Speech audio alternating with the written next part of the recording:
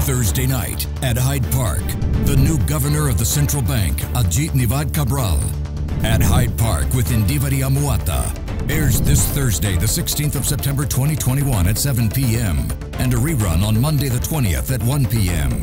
exclusively on Ada 24.